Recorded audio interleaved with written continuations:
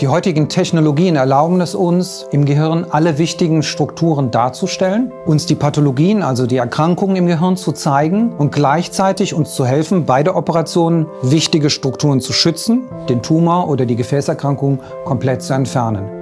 Wir können virtuelle Informationen in ein reales Bild aufladen. Da hilft uns der navigierte Ultraschall. Das ist eine Untersuchung während der Operation, wo man eine Aufnahme machen kann und Bilddaten von Patienten aktualisieren kann. Die Information wird direkt ins Mikroskop eingeblendet. So kann man Tumorgrenzen virtuell darstellen und sieht, wie man das Ausmaß der Resektion planen kann. Robotik ist auch in der Neurochirurgie sehr wichtig und wir sind in der glücklichen Lage, eine sehr komplexe Ausstattung zu haben, mit der wir die Eingriffe noch sicherer und noch schneller durchführen können.